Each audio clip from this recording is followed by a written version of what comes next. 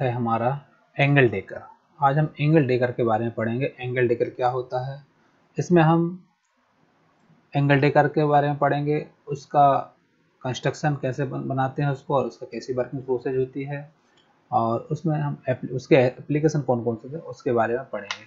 जैसा कि आपको इसमें दिख रहा होगा angle dekkor angle dekkor is capable of measuring small variations in angular setting determining angular tilt. Angle decker is used in combination with angle gauge. First, the angle gauge combination is set up to the nearest known angle of the component. Now the angle decker is set to zero reading on the illuminated scale. Angle dekkor जो होता है small variation जो angular measurement होता है उसका small variation को नापने के लिए कैपेबल होता है एंगल डेकर में बहुत सारे इसमें एंगल गेजेस को भी कॉम्बिनेशन करके बनाया जाता है। इसमें सबसे पहले हमारे पास जो होता है एंगल इसको इसमें कुछ कॉम्बिनेशन मिलाते हैं, कुछ गेजेस एंगल गेजेस के कॉम्बिनेशन मिलाते हैं, जिसको हम एंगल के नाम से जानते हैं, उसमें एंगल को मेजर करते हैं। और एंगल गेजेस का जब हम इसमें इस्तेमाल करते हैं तो उसकी रीडिंग सबसे पहले इल्यूमिनेटेड स्केल में ज़ीरो पे रख के स्टार्ट करते हैं, जब वो नॉर्मल स्थिति में होता है। और working principle first a set of angle gauge blocks with an angle close to the angle to be measured and is placed on the surface plate and the reflected image for the angle set is observed in the eyepiece. The decker can then be set that zero reading is obtained on the illuminated scale. सबसे पहले हम इसमें क्या करते हैं angle gauges में जो block होता है उसमें कुछ गेजेस का इस्तेमाल करते लगाते हैं और उसको क्या करते हैं, फिर करने के लिए सरफेस प्लेट और रिफ्लेक्टेड जो इमेज होती हैं, उसको हम चेक करके उसको क्लोज करते हैं। सबसे पहले उसको क्लोज करते हैं, उसको ओपन करेंगे हम तो उसमें क्या होगा, जो सरफेस प्लेट को में सबसे पहले हम इसके एंगल को एंगल टेकर को रखते हैं, उसके हिसाब से उसकी जो रिफ्लेक्टेड इमेज होती है, उसके द्वारा एंगल को मेजर करते हैं, वो आई के द्वारा देखते हैं। जब हम एंगल टेकर का इस्तेमाल करते हैं तो सबसे पहले हम इल्यूमिनेटेड स्केल की रीडिंग ज़ीरो कर देते हैं, उसके बाद उसका इस्तेमाल करते हैं। अब देखो जैसे इसका डायग्राम देखें। ये एंगल गेजेस एंगल डेकर का डायग्राम यहाँ से हम स्टार्ट करें अगर हम तो एंगल डेकर का यहाँ से ये माइक्रोस्कोप आईपीस है ये दो। इसके बाद यहाँ पर ग्लास स्क्रीन है।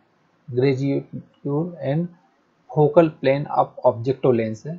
यहाँ से यहाँ से जो आगे लेजर गई है डॉटम स्केल ही बोल सकते हैं। एक क्रॉस सेंटर ऑफ़ स्क्रीन यहाँ पर है कॉलीमेटिंग ऑब्जेक्टो लेंस ये वर्क पीस है। यहाँ से आपको, यहाँ पर आपको प्रिज्म दिख रहा होगा। ये भी हमारा illuminated scale on graved on scale screen है। और यहाँ ये है लैम्प ये लैम्प है। अब इसमें क्या होता है? जो हमारे पास आई पीस होता है आई पीस यहाँ से होता है। यहाँ से हम इसमें देखते हैं। और ये होता है लैम्प जिसके द्वारा लाइट फ़िल्टर होती है लाइट जाती है। यहाँ से लाइट को हम लोग अटैक करते हैं यहाँ से प्रिज्म पे। प्रिज्म में जब ये अटैक करेगी लाइट तो यहाँ से इस ग्लास स्क्रीन से होते हुए ये क्या हुआ इस टाइप से डिस्ट्रीब्यूट हो जाएगी लाइट जब ये डिस्ट्रीब्यूट होगी तो कहाँ पर पड़ेगा? ये पड़ेगी आपके कोलिमेटिक लेंस पर।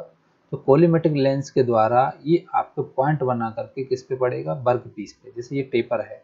ये कितना टेपर है इसको नापना है?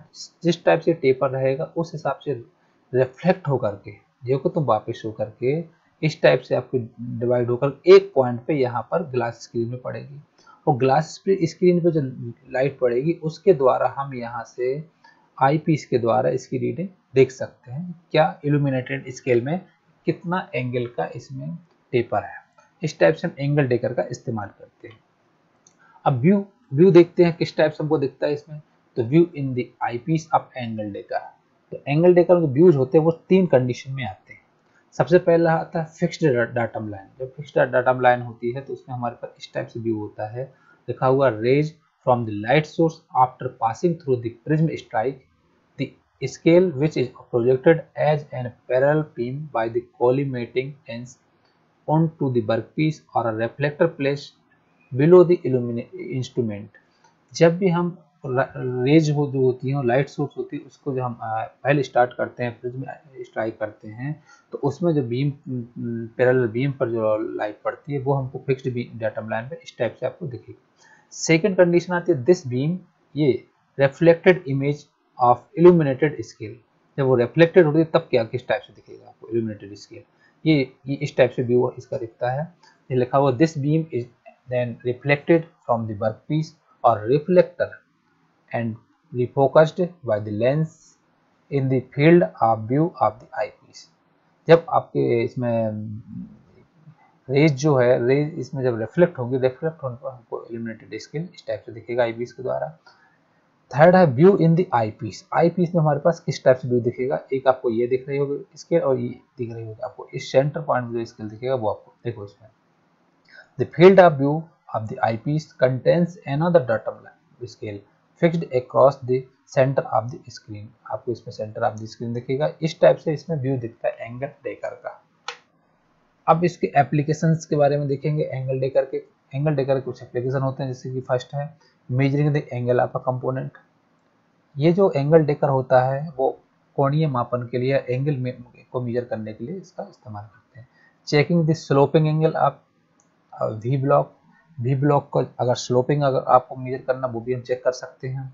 Measuring the angle of a cone और टेपर गेजेस इसमें हम कोन का एंगल नाप सकते हैं या फिर कोई टेपर गेज है, उसका हम मेजरिंग कर मेज़रमेंट कर सकते हैं।